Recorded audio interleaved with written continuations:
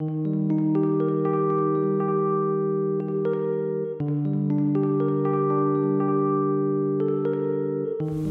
back here in the island of Rarotonga. Again, welcome to my vlog. Thank you, thank you so much. I, I know you've been emailing me. Unfortunately, I cannot receive them here, but I am thrilled to hear from all of you. And today I'm going to share something that happened with me in Las Vegas because we stopped there before coming to this island, uh, the Cook Islands.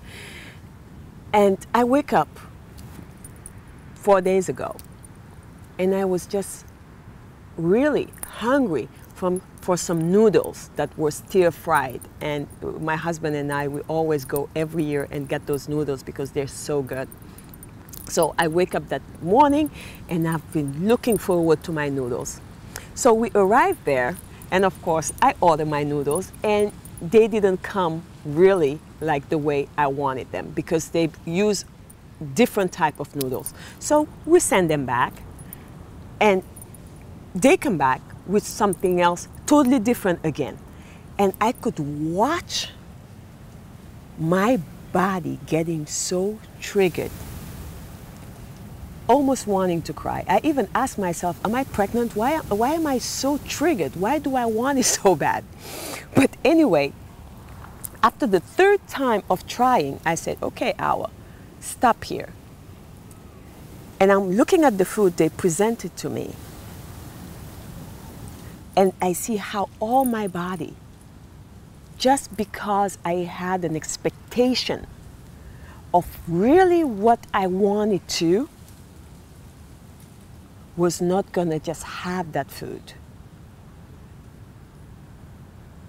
And I took a second and I'm like, wow, that's what expectation does. I saw myself, I saw my mind. I mean, just getting triggered to the point where it was not, was going to miss lunch just because I had such expectation.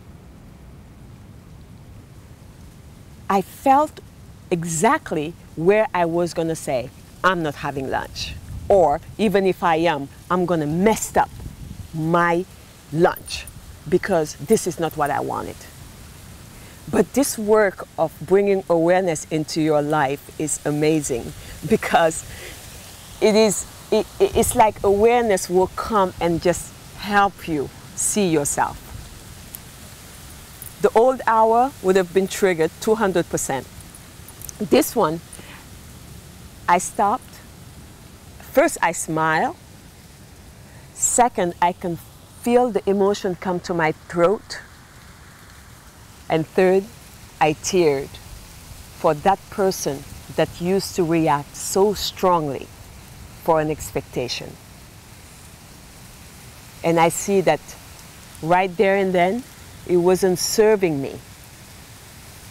Maybe another time, but not in that present moment. I didn't need that and that life is not always bringing to you what you want, but what you need. And when I look at that soup, I said, well, hey, that's what the universe brought me today. So I'm going to enjoy it. But that time that I had to see myself and to watch my emotion and to watch my thought wanting to mess up my lunch and my husband's lunch because I work on that. I was very grateful to be a choice and to turn it to a beautiful lunch. So I'm sharing this today so we watch the expectation that we have in life. We expect so much out of life. And life is not here to fulfill our expectation, but to give us what we need. I teared because I see already when life will bring me something that I believe I'm not ready for, for yet. And I can see that it will be the same thing, that will be the choice that I have to ruin it, complain about it, or to accept it and see how it's supporting my life right now.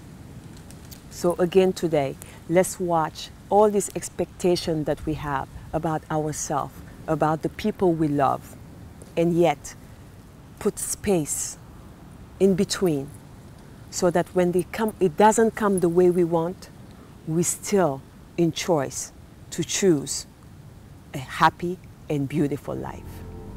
And I see you tomorrow.